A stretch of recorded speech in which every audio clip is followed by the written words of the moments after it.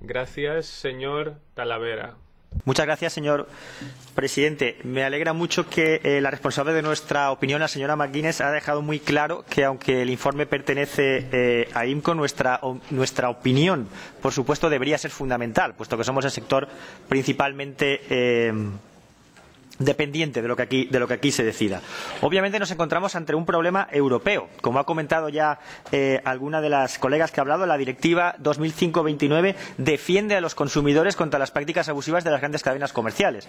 Por tanto, ¿por qué no podemos tener también una directiva que defienda a los productores? Ya se ha dicho también que los Estados miembros tienen sus propias legislaciones, lo que está creando una auténtica confusión y que está perjudicando sobre todo a los exportadores.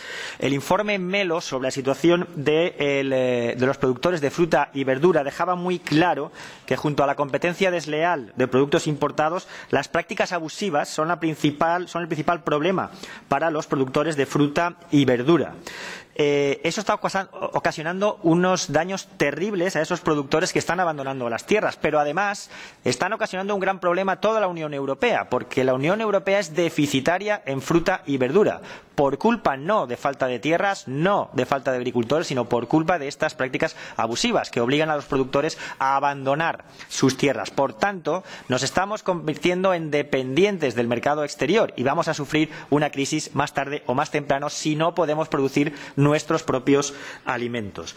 Las iniciativas que se han hecho hasta ahora son muy voluntaristas y son prácticamente unas muestras de una cierta generosidad incluso por parte de esas grandes cadenas que son las mismas que crean el problema. Iniciativas como el Food Supply se han eh, revelado absolutamente ineficaces. Los propios productores tienen miedo, digamos la verdad, tienen miedo de denunciar prácticas abusivas porque entonces pierden a sus clientes, de los cuales viven porque no hay abanico de diferentes eh, comercializadores. Se trata, por tanto, de una responsabilidad europea que no puede quedar en unas meras eh, intenciones por parte de esas, de esas cadenas. Necesitamos una directiva europea y yo creo que además esta es una gran oportunidad para la Unión Europea para luchar contra el euroescepticismo y para demostrar que es útil, muy útil a ese sector que está muy castigado y que cada vez se encuentra más alejado de las instituciones europeas. Demostremos que son suyas y hagamos una directiva fuerte que les proteja. Muchas gracias.